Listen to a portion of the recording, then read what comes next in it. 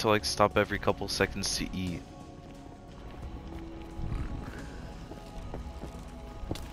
Hmm. Just use There bows and arrows, it's easier. Oh. They're all one tap to bows.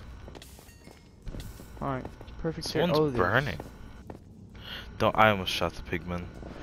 Damn you hit fighting pigmen. Why'd you That hit the pigman? hit. Shut the hell up, Chris.